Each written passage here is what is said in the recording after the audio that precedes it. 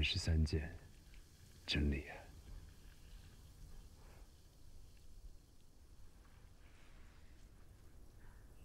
隆庆皇子是西陵掌教的爱徒，又是最受宠爱的年轻一代，我担心你这一剑会引发不可收拾的后果。事到如今，这一剑我非射不可。要是别人追问你这一剑非射不可的理由呢？也许是因为。他不该逼我拿桑桑当赌注，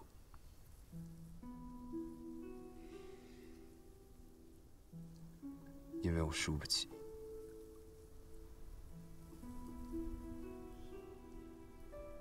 这世上没有什么可以威胁我的。在都城，公主殿下曾经认为抓住了我的弱点。以为桑桑是我的命门，可是他错了。桑桑不是我的命门，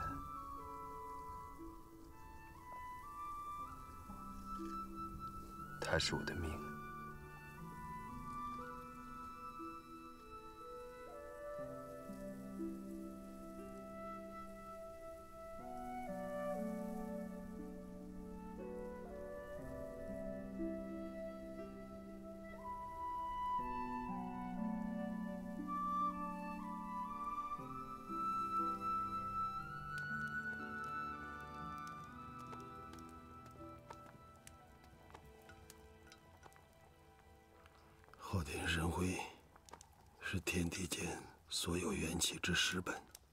能将天地间所有事物悉数净化为虚无。神说是一种很强大的能力，然而越强大，责任越大。任何想要拥有这种能力的人，必须要有与之相匹配的品德，内心纯净、透明。无一丝阴晦。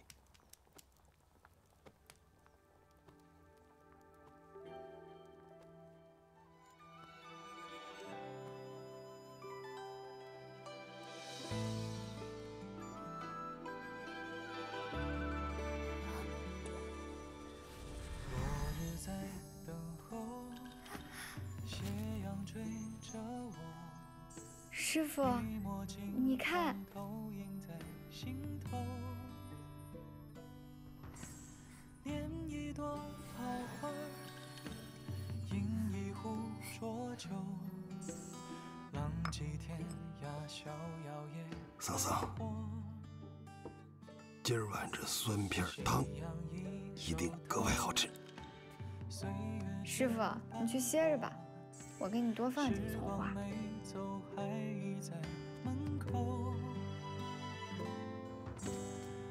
字最难说，别一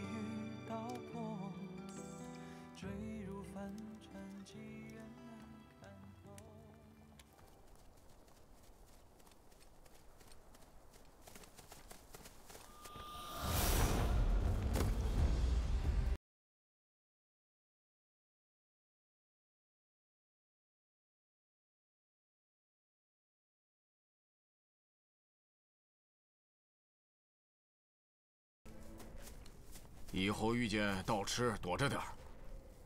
你的意思是我打不过他？道痴已经是道法自然了，即使你是现任的魔宗圣女，加上众元老的真传，依旧不是他的对手。我知道，他们都是来抢天书的。哥，天书在不在山门里？宗主走的时候没有告诉我。我们已经等了二十多年，真不知道我们还要等多久。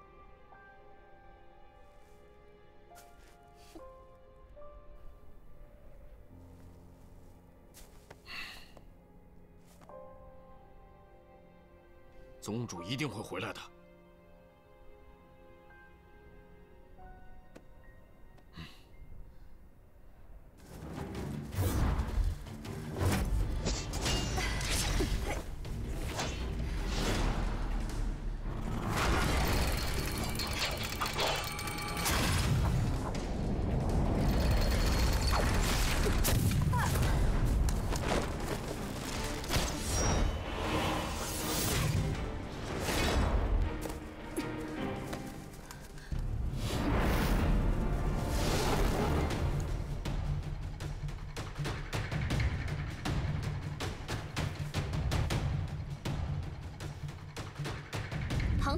堂墨池院王书圣的得意弟子，天下三痴之一的莫珊珊，竟然为了一个书院弟子向我出手，你可知道，我代表的是西陵。十三先生，破镜在前，是隆庆先动的杀机，请道痴饶他性命。宁缺，你的符剑伤不了我，你只是射了一道符剑，便连握弓的力气都没有了，现在只能躲在女人的背后，真令书院蒙羞。你这句话可别说的太早。我一直想杀一个书院二层楼的弟子看看，而现在。你毁了隆庆，便是给了我一个最好的理由。道痴姑娘，莫山主，此事与你无关。我奉劝你不要把大和国卷进来。我承认我很弱，现在还不是你的对手。可是这不代表我以后依旧很弱。莫山主，你先走，不能连累你。想要英雄救美。也不掂量掂量。你不能杀我，我是夫子的亲传弟子。正因为你是夫子的亲传弟子，让你死在我的手上，才会更有意义。你不担心西陵会和书院为此开战吗？说不定唐国也会讨伐西陵。能与书院二层楼真正的强者对战，是我叶红鱼修行以来最大的心愿。尤其是你的二师兄君莫。这么说，你今天非要杀了我不可？这里依山傍水，很适合做墓地。实在分开跑！快跑啊！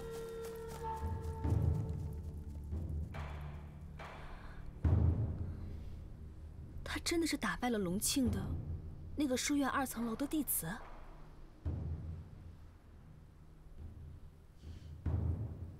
我也曾经怀疑过。师傅说了，打不赢就跑。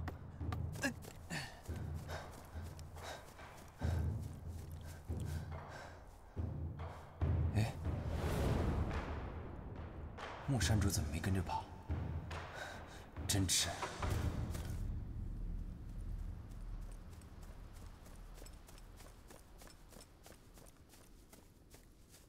莫山主，他比你聪明，知道遇见我便逃无可逃，避无可避。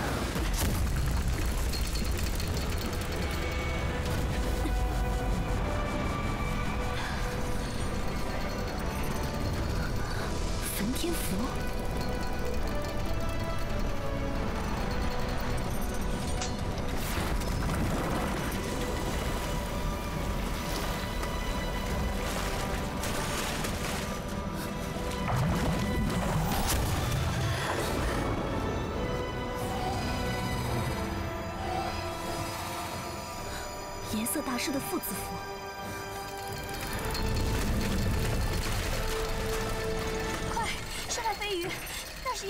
没有我。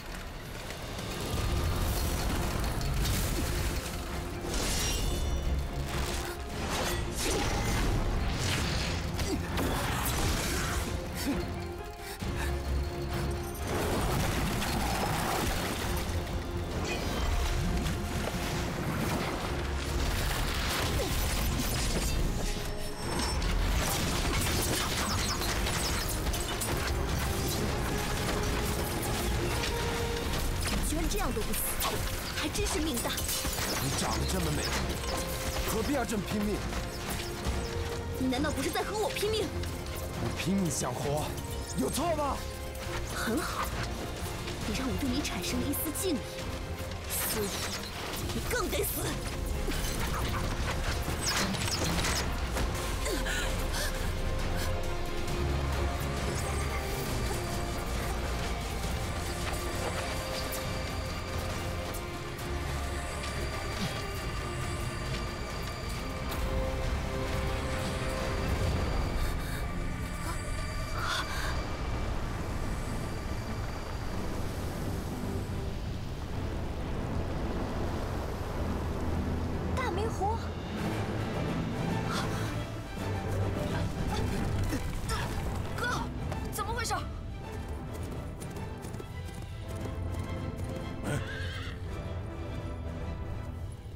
山门开了。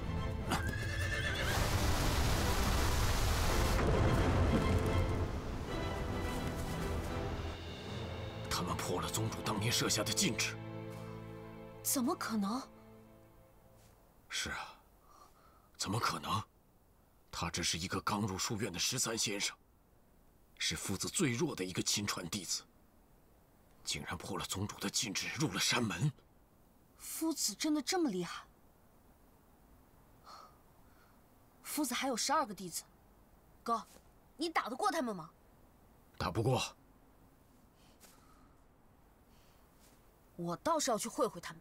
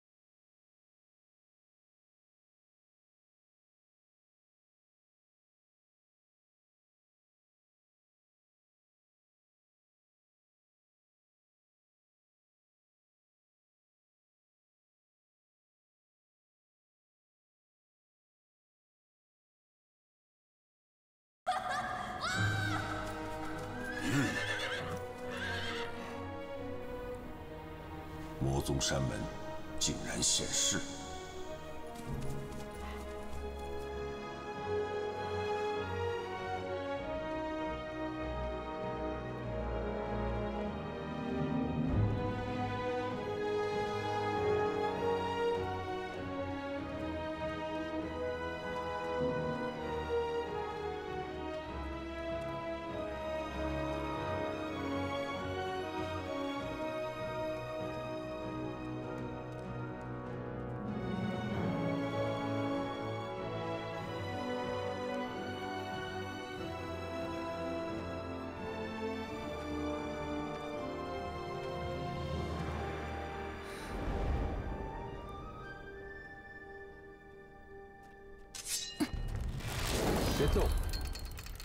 则玉石俱焚。试试看。这里是魔宗山门，里面的重重险阻，不是光靠打架就能解决的。叶侯鱼，如果我们死了，你也未必能够顺利进去。珊珊说的对，与其打打杀杀，不如一起发财。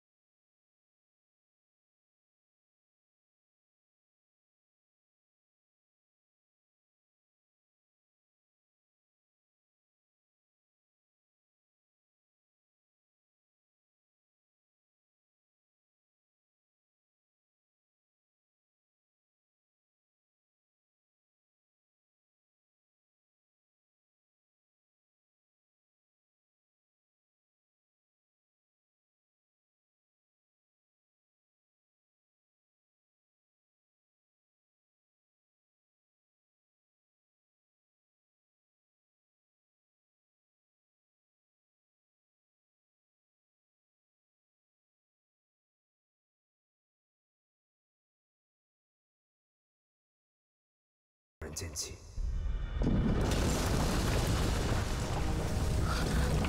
石头在动，快点带着启动了！魔山主，快跑！你去！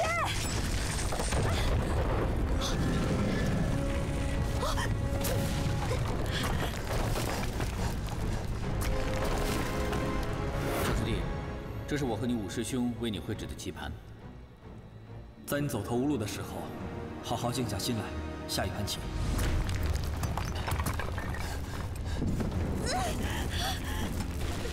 宁倩，等我出去一定杀了你！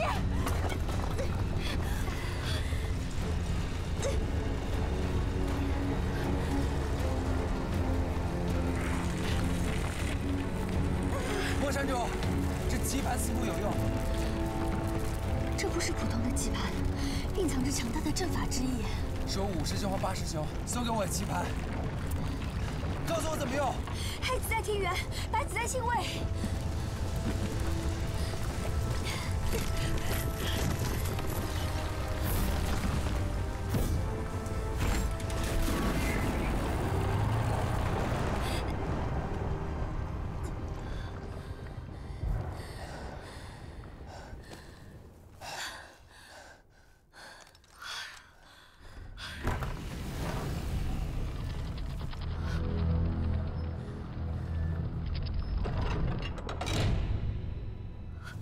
宗山门。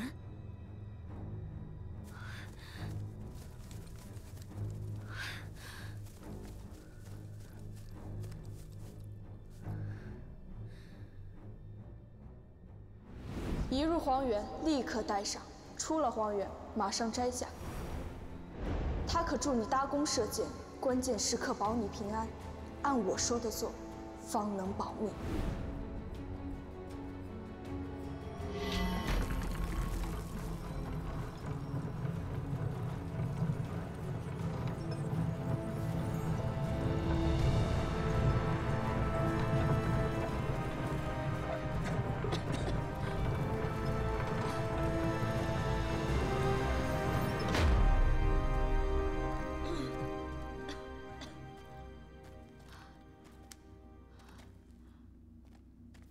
说书院后山能让圣俗二世相通，而魔宗山门则漠然处于俗世之上。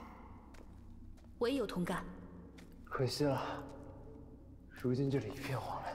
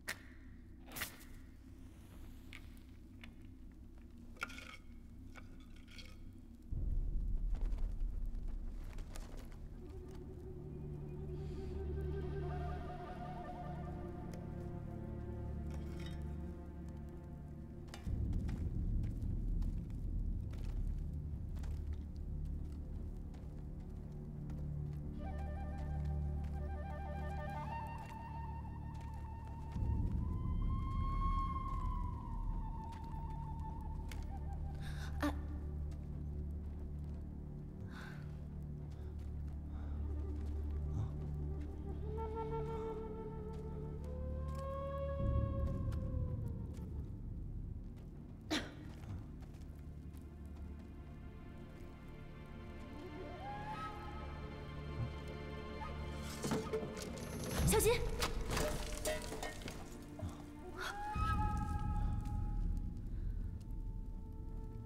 其实你也没那么坏。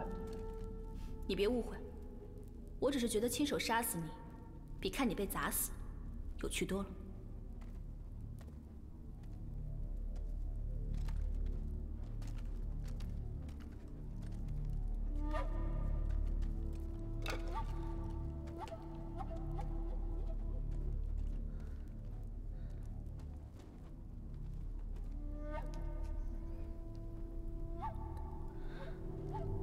爵寺的黑衣执事，还有护教骑兵，他们怎么会出现在这里？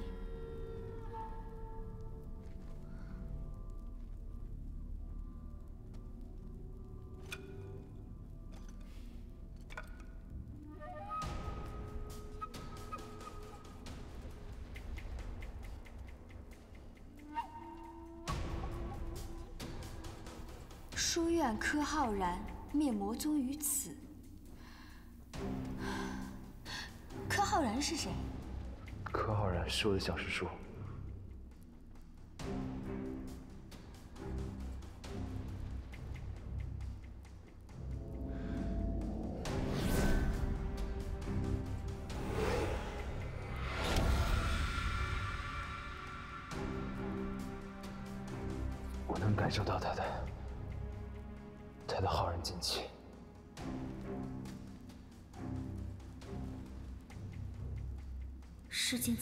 此强者，可惜你我生不同时，否则终我一生，不知会不会有幸与你一战。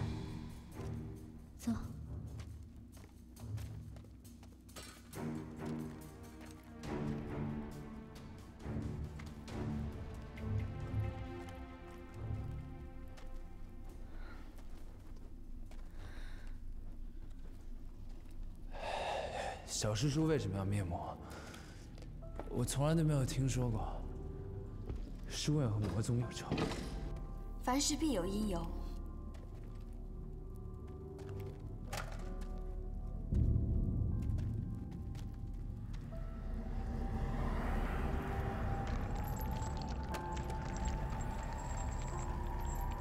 灭魔需要谁有吗？谁？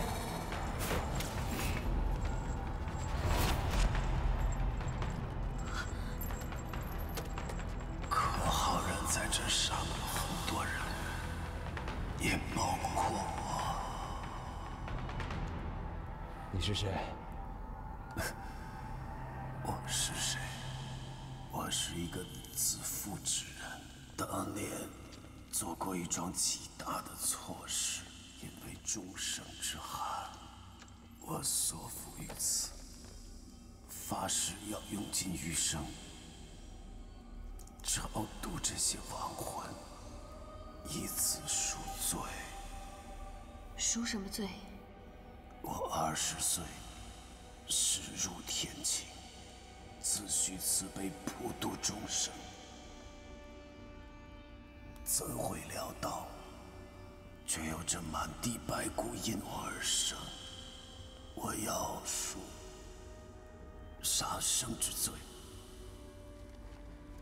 你到底是谁？西方有莲，翩然落入世间，自生三十二般，般般不同，各为世界。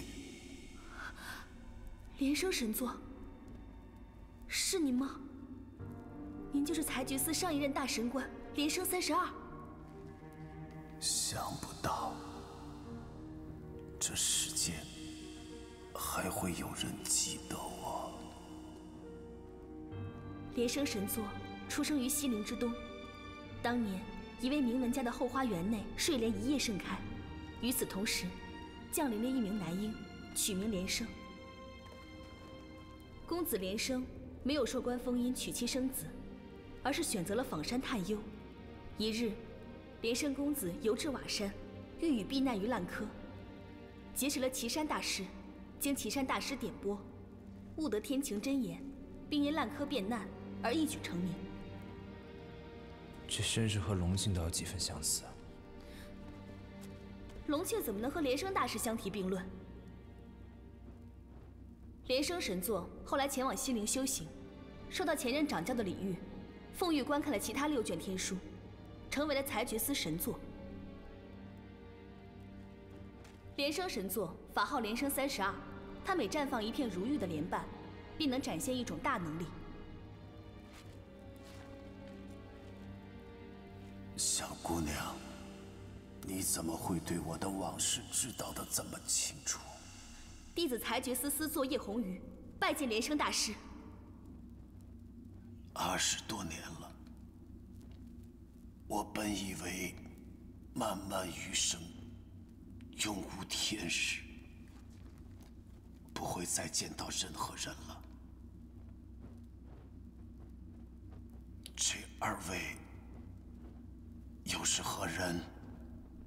墨池院王书圣的弟子莫珊珊，书院夫子新收的弟子宁缺。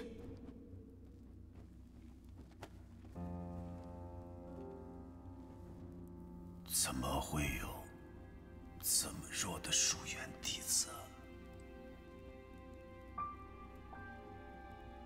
你既然是西陵裁决司的大神族，又为何会出现在魔宗圣殿，还被我小师叔顶在这里？你果然还是发现了。你周身所附，哪有小师叔浩然气？是我小师叔把你顶在这里。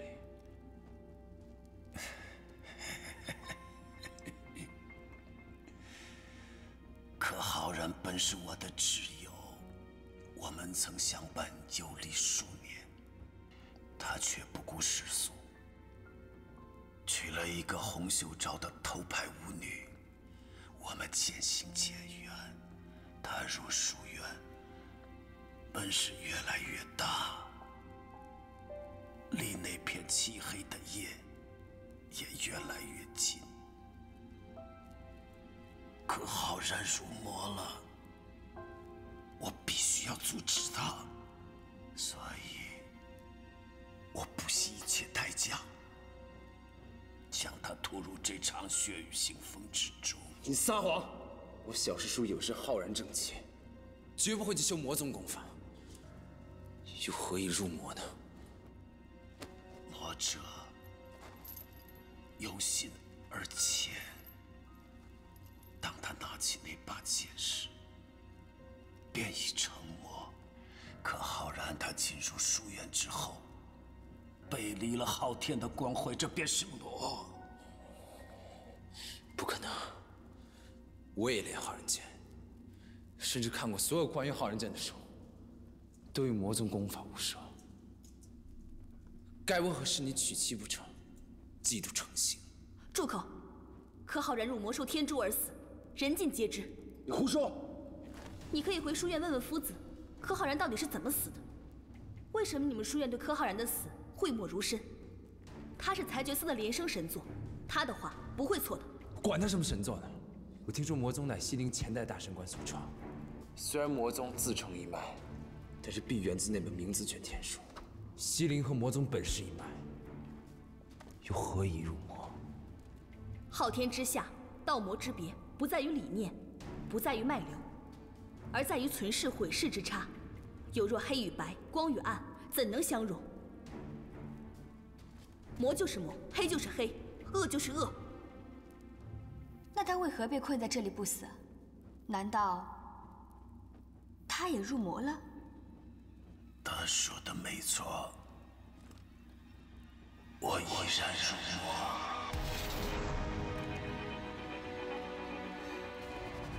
道魔相通，便可入世。你们当中的一个人，便可继承我的衣钵，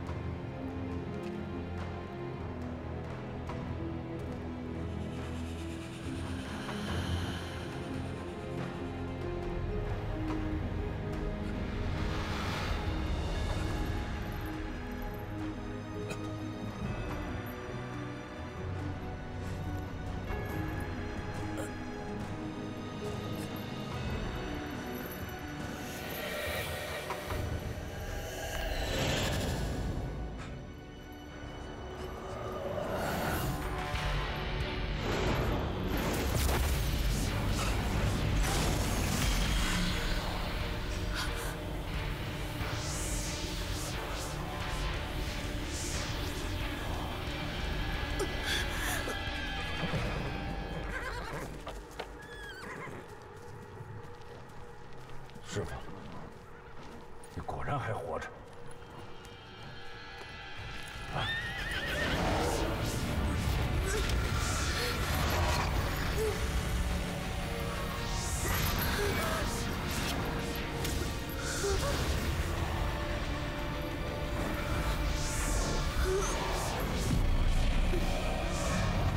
我是不是也应该上前让他授予我一些念力，让我打败夏侯？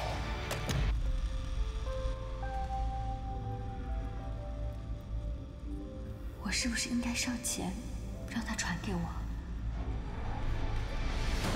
林生雪？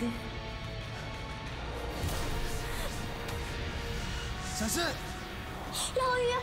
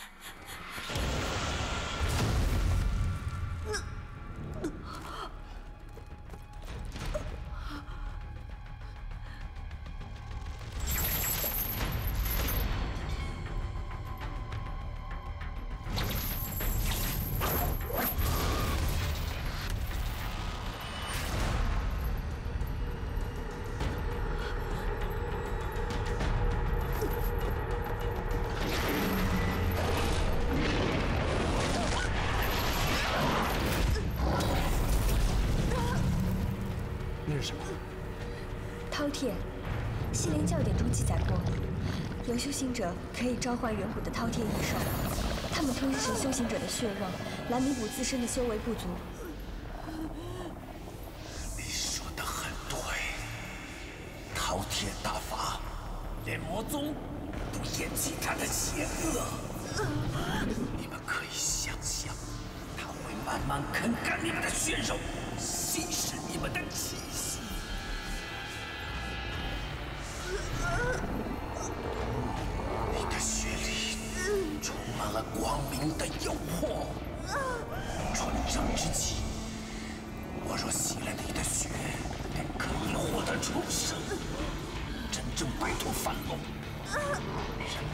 如何抗争，你都无法摆脱命运的抉择。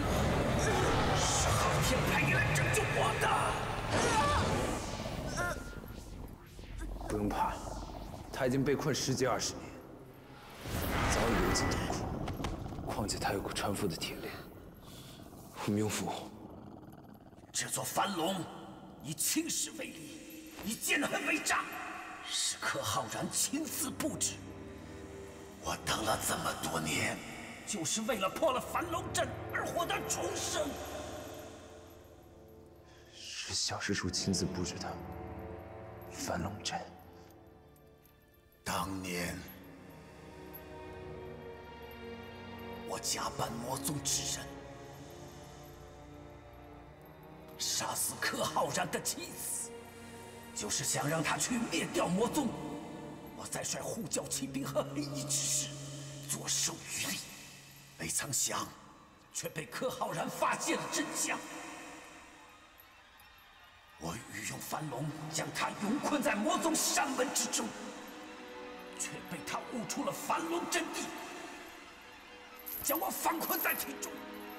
这果然不是自负赎罪，小师叔把你关在这里。罪我，非春秋儿。无论是你，还是世然，亦或是柯浩然，都没有这种资格治我的罪。你究竟是什么人？佛子，道士，大魔头，神仙老虎赖皮狗。我这一生扮演的角色太多，到最后，甚至连我自己都险些忘了自己是谁。我是西陵的大神官，天启的山门护法，还是魔宗的大弟子，我自己也分不清楚。我乃连生三十二，般般可不同。不知世人为何总以一般之美负全连之心？我欲成佛便成佛，我欲成魔便成魔。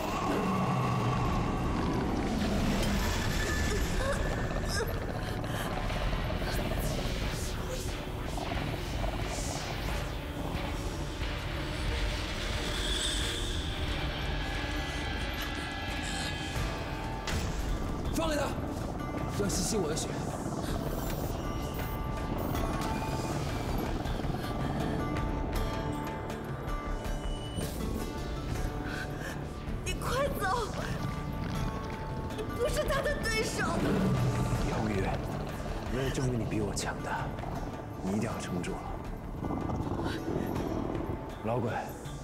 尸骨相伴这么多年，应该很无聊吧？我很好奇，明明你的修为是这三人中最弱的一个，为何你却能第一个清醒？大概是你给出的诱惑不够大。难道我的一波对你都没有吸引力吗？我学贯三宗道魔相通便可入神，这是我多年的礼物。可惜了，你的领悟不够价。就算倒贴我银子，我也不会继承你的。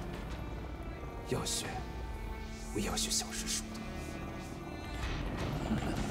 可疯子将剑意化成世间所有道法，用我最得意的樊龙封住所有天地元气，把我像妖怪一样镇压在这终日不见青天的地方，让我承受着永世的孤独和绝望。我不甘心呐！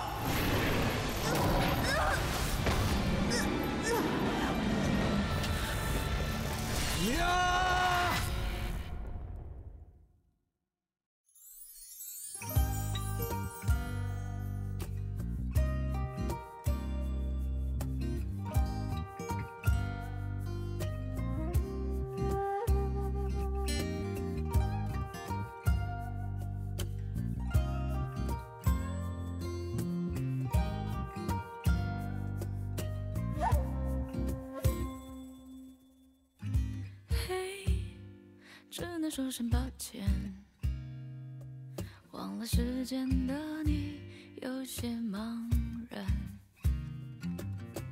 远看在天边，近看在眼前，光阴就在转身之间，看开一点，人生依然。嘿，借着我来改变。就算只守这天，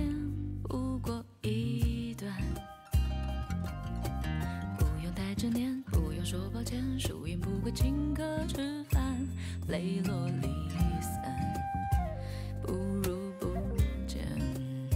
长夜漫漫，别留遗憾。看破这世间是非恩怨，万一千。